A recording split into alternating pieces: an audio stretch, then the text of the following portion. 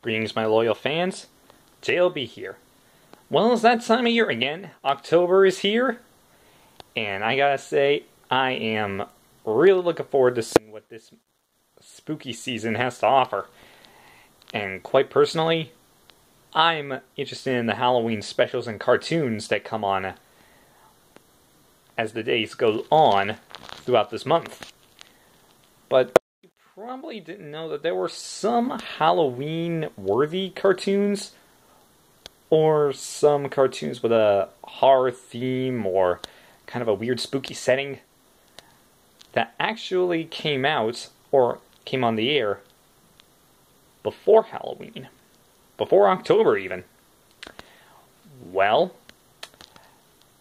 I figured why not explore this unknown world of the cartoon landscape? But I don't think I'll be the one to take you. I think you need my other half. He's more on the creep factor side, but I think we get to know him. He's known as the Keeper. Ah, that's better. Glad I finally got rid of that guy. Greetings. Keeper's the name. Hey, don't be fooled. I'm only taking over his body. I'm using my I'm using this mask here to hide my true self. Me and the other guy are one and the same. So let's just face it right here, right now. I'm gonna take you on a gut wrenching, spine tingling, heart stopping tour of a place that I call home. A place where I'm the groundskeeper. The cartoon graveyard. it's a rest home for Halloween specials, spooky cartoons, all manner of things that go bump in the night on the big silver screen or on the small screen. And I think it's best that we start with the first grave. It took me quite a bit of digging, but I finally found it. The very first cartoon worthy of being seen on Halloween. Time to pay a visit to our old friend Felix the Cat. Hope you're ready. Because it's time to enter the cartoon graveyard. Now, when I dug this up, I thought it was a pretty amazing find. And don't get me wrong, they don't call me the crypt keeper of the cartoon graveyard for nothing. And I gotta say, it's definitely worth your time to see this if you want to know where a little thing called ghost busting began. It all started on January 1st, 1923, when a small little director by the name of Otto Messmer decided to uh, unleash his uh, friendly feline friend onto the cartoon landscape in 1923 with a cartoon that very few had ever seen before. But bear in mind, the 1920s was the silent era, a time when horror was more about demons, witches, things that go bump in the night. Which is fitting for this cartoon, I have to say.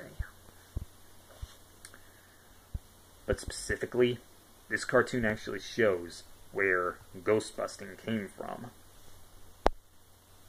I've seen this cartoon many different times. But all in all, it's okay for its time. It's not exactly the best out there, but it's historical. What's the word I'm looking for? Historical relevance is the reason why it should be worth your time. It's worth a look. And since all the Felix the Cat cartoons were made in 1919, 1918, around that time period, it's in the public domain, so don't be afraid to go and find it.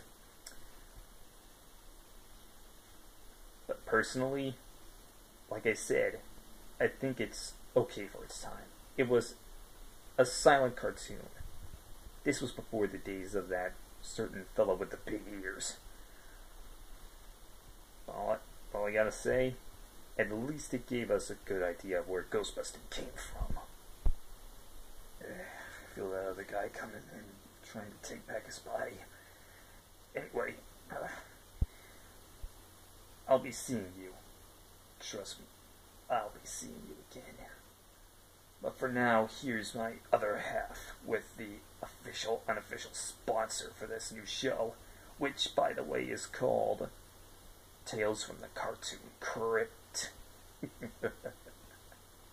Quite a name to die for, isn't it? Ah, ah, ah, ah, Ugh. Sorry about that, that often happens around here. But, like my other half, Keeper, told me, or told you rather, this video is officially yet unofficially sponsored by Spirit Halloween, your one stop shop for all your Halloween needs. Party City, where no one has more Halloween for less. And my personal favorite unofficial official sponsor, Count Chocula Cereal. Big taste in every bite.